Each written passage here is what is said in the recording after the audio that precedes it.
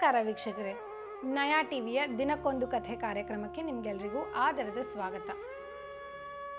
ರಾಮಾಯಣದ ಮೊದಲನೇ ಸಂಚಿಕೆಯಲ್ಲಿ ನಾವು ತಿಳ್ಕೊಂಡ್ವಿ, ವಾಲ್ಮೀಕಿ ಅವರಿಗೆ ಅವರ ಮನಸ್ಸಿನಲ್ಲಿ ಒಂದು ಪ್ರಶ್ನೆ ಮೂಡಿ ಬರುತ್ತೆ ಕೋನಸ್ಮಿನ್ ಸಾಂಪ್ರತಂ ಲೋಕೆ ಗುಣವಾನ್. ಅಂದರೆ ಈ ಲೋಕದಲ್ಲಿ ಹದಿನಾರು ಸದ್ಗುಣಗಳನ್ನು ಉಳ್ಳಂತಹ ಒಬ್ಬ ಮಾನವ ಯಾರು ಅನ್ನೋ ನಾರದರು ವಾಲ್ಮೀಕಿ ಮಹರ್ಷಿಗಳನ್ನ ನೋಡೋದಕ್ಕಾಗಿ ಅವರ ಆಶ್ರಮಕ್ಕೆ ಬಂದಾಗ ಈ ಪ್ರಶ್ನೆಯನ್ನ ಅವರಿಗೆ ಕೇಳ್ತಾರೆ. ಅದರ ಮುಖಾಂತರ ಅವರಿಗೆ ರಾಮಚಂದ್ರನ ಬಗ್ಗೆ ತಿಳಿದು ಬರುತ್ತೆ. ಇದನ್ನು ನಾವು ಮೊದಲನೇ ಸಂಚಿಕೆಯಲ್ಲಿ ತಿಳ್ಕೊಂಡ್ವಿ. ಎರಡನೇ ಸಂಚಿಕೆಯಲ್ಲಿ ರಾಮನ ಬಗ್ಗೆ ತಿಳ್ಕೊಂಡ ನಂತರ ವಾಲ್ಮೀಕಿ ಮಹರ್ಷಿಗಳು ತಮಸಾ ನದಿ ತೀರಕ್ಕೆ ಸಂಧ್ಯಾ ವಂದನೆಗೆ ಅಂತ ಹೋಗ್ತಾರೆ. ಅಲ್ಲಿ ಬೇಟೆಗಾರನೊಬ್ಬ ಕ್ರೌಂಚ ಪಕ್ಷಿಯನ್ನ ಕೊಂದ ಕಾರಣದಿಂದಾಗಿ ಬೇಟೆಗಾರನಿಗೆ ಒಂದು ಶಾಪವನ್ನ ನೀಡ್ತಾರೆ. ಮಾ ನಿಷಾದ, ಪ್ರತಿಷ್ಠಾಂತ್ವ ಮಗಮಃ ಶಾಶ್ವತಿ ಸಮಾಹ, ಯತ್ ಕ್ರೌಂಚ ಮಿಥುನಾ ದೇಹ ಅವಧಿ ಕಾಮ ಮೋಹಿತ್. ಈ ಶ್ಲೋಕದ ಅರ್ಥವನ್ನ ಹಿಂದಿನ ಸಂಚಿಕೆಯಲ್ಲಿ ನಾನು ಆಗಲೇ ನಿಮಗೆ ತಿಳಿಸ್ಕೊಟ್ಟಿದ್ದೀನಿ. ಎರಡು ಕ್ರೌಂಚ ಪಕ್ಷಿಗಳು, ಒಂದು ಗಂಡು, ಒಂದು ಹೆಣ್ಣು ಮರದ ಮೇಲೆ ಕೂತು ಸಂತೋಷದಿಂದ ಇದ್ದಾಗ ಒಬ್ಬ ಬೇಟೆಗಾರ ಗಂಡು ಪಕ್ಷಿಯನ್ನ ಕೊಂದುಬಿಡ್ತಾನೆ ತನ್ನ ಪ್ರಿಯತಮನನ್ನು ಕಳೆದುಕೊಂಡಲ್ಲ ಅನ್ನೋ ವೇದನೆಯಿಂದ ಆ ಹೆಣ್ಣು ಕ್ರೌಂಚು ಪಕ್ಷಿ ತುಂಬಾ ನೋವಿನಲ್ಲಿ ಇರುತ್ತೆ. ಅದನ್ನ ಕಂಡ ತಕ್ಷಣ ವಾಲ್ಮೀಕಿ ಅವರು ಈ ಶ್ಲೋಕವನ್ನ ಹೇಳುತ್ತಾ ಬೇಟೆಗಾರನಿಗೆ ಶಾಪವನ್ನ ನೀಡ್ತಾರೆ. ಈ ಶಾಪದ ಅರ್ಥ ಬೇಟೆಗಾರನಿಗೆ, ನೀನು ಕೂಡ ವಿರಹ ವೇದನೆಯಿಂದ ಬಹುಕಾಲ ಸುಖವಾಗಿ ಬಾಳಬೇಡ ಅನ್ನೋ ಒಂದು ಮಾತು. ಈ ಶಾಪವನ್ನ ವಾಲ್ಮೀಕಿ ಮಹರ್ಷಿಗಳು ಆ ಬೇಟೆಗಾರನಿಗೆ ನೀಡಿದ ಮೇಲೆ ಅವರ ಆಶ್ರಮಕ್ಕೆ ಮತ್ತೆ ಬಂದು ಕೂತು ಯೋಚನೆ ಮಾಡಿದಾಗ ಅವರು ಮಾಡಿದಂತಹ ತಪ್ಪು ಅವರಿಗೆ ಅರಿವಾಗತ್ತೆ. ಶ್ರೀರಾಮಚಂದ್ರ ಹಾಗೂ ಅವನ ಪತ್ನಿ ಸೀತೆ ಇವರಿಬ್ಬರ ಬಗ್ಗೆನೇ ಯೋಚನೆ ಮಾಡ್ತಾ ಮಾಡ್ತಾ ಅವರ ವಿರಹ ವೇದನೆಯನ್ನ ವಾಲ್ಮೀಕಿ ಅವರು ಸಹಿಸ್ಕೊಳ್ಳೋದಕ್ಕೆ ಆಗೋದಿಲ್ಲ. ಅದೇ ಸಮಯದಲ್ಲಿ ಬೇಟೆಗಾರ ಬಂದು ಕ್ರೌಂಚ ಪಕ್ಷಿಗಳನ್ನು ಬೇರೆ ಮಾಡಿಬಿಡ್ತಾನೆ.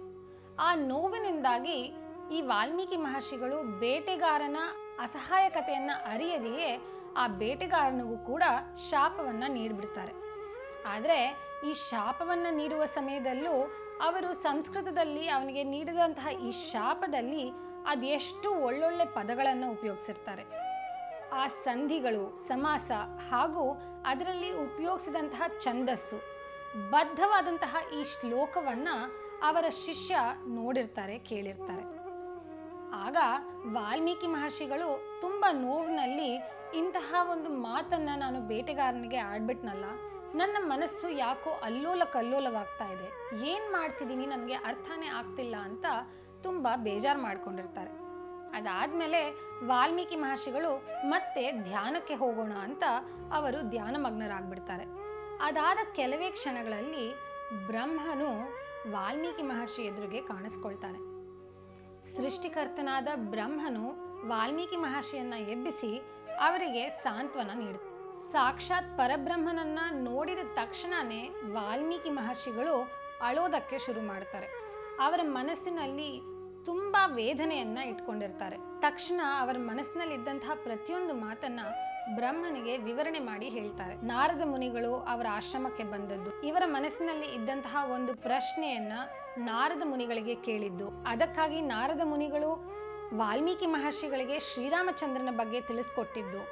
ಶ್ರೀರಾಮಚಂದ್ರ ಹಾಗೂ ಅವನ ಪತ್ನಿ ಸೀತೆಯ ವಿರಹ ವೇದನೆಯನ್ನ ಕೇಳಿ ಅದೇ ಗುಂಗಿನಲ್ಲಿ ಅವರು ತಮಸಾ ನದಿಗೆ ಸಂಧ್ಯಾ ವಂದನೆಗೆ ಅಂತ ಹೊರಟಿದ್ದು. ಅಲ್ಲಿ ಕ್ರೌಂಚ್ ಪಕ್ಷಿಗಳನ್ನು ನೋಡಿದ್ದು. ಹಾಗೆ ಬೇಟೆಗಾರ ಒಂದು ಪಕ್ಷಿಯನ್ನ ಕೊಂದು ಇನ್ನೊಂದು ಪಕ್ಷಿಯನ್ನ ವಿರಹ ವೇದನೆಗೆ ತಳ್ಳಿ, ಅದರಿಂದಾಗಿ ತಮ್ಮ ಮನಸ್ಸಿನಲ್ಲಿದ್ದಂತಹ ರಾಮ ಸೀತೆಯ ವಿರಹ ವೇದನೆಯಿಂದ ಆ ಬೇಟೆಗಾರನಿಗೆ ಕೊಟ್ಟಂತಹ ಶಾಪ. ತನ್ನಿಂದ ಒಂದಲ್ಲ ಎರಡು ಜೀವಿಗಳಿಗೆ ಮತ್ತೆ ನೋವುಂಟು ಮಾಡಿದ್ನಲ್ಲ ಅನ್ನುವಂಥ ಒಂದು ಮನಸ್ಸಿನಲ್ಲಿದ್ದಂತಹ ನೋವು.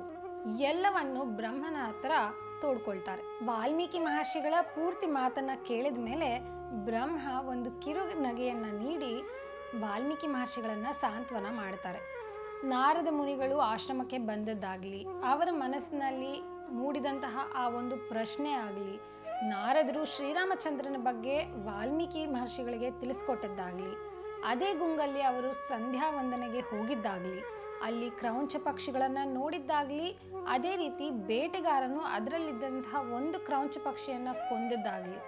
ಅದಾದ ಮೇಲೆ ವಾಲ್ಮೀಕಿ ಮಹರ್ಷಿಗಳು ಆ ಬೇಟೆಗಾರನಿಗೆ ನೀಡಿದಂತಹ ಶಾಪವಾಗಲಿ. ಪ್ರತಿಯೊಂದು ಕೂಡ ಬ್ರಹ್ಮನ ಪ್ರೇರೇಪಣೆಯಿಂದನೇ ಆಗಿದ್ದು ಅಂತ ಹೇಳ್ಕೊಳ್ತಾರೆ. ವಾಲ್ಮೀಕಿ ಮಹರ್ಷಿಗಳು ಬಹಳ ಕುತೂಹಲದಿಂದ ಬ್ರಹ್ಮನನ್ನ ಕುರಿತು ಕೇಳ್ತಾರೆ.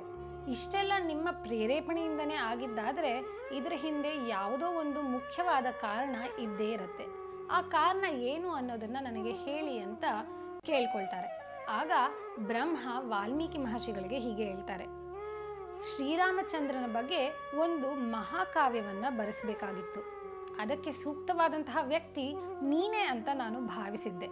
ಆದರೆ ನಿನ್ನನ್ನು ಒಂದು ಸಣ್ಣ ಪರೀಕ್ಷೆಯಿಂದ ನೀನು ಎಷ್ಟು ಚೆನ್ನಾಗಿ ಶ್ಲೋಕಗಳನ್ನು ಸಂಸ್ಕೃತದಲ್ಲಿ ಬರೆಯಬಲ್ಲೆ ಅನ್ನೋದನ್ನು ನಾನು ತಿಳ್ಕೋಬೇಕಾಗಿತ್ತು. ಆದ್ದರಿಂದಲೇ ನಿನ್ನ ಮನಸ್ಸಿನಲ್ಲಿ ಇಷ್ಟೊಂದು ಗೊಂದಲವನ್ನು ಉಂಟು ಮಾಡಿದ್ದು. ಇಷ್ಟು ಗೊಂದಲದಲ್ಲಿ ಇದ್ದರೂ ಕೂಡ ಆ ಬೇಟೆಗಾರನಿಗೆ ನೀನು ಅದೆಷ್ಟು ಸೊಗಸಾಗಿ ಶಾಪವನ್ನು ನೀಡಿದ್ದೆ.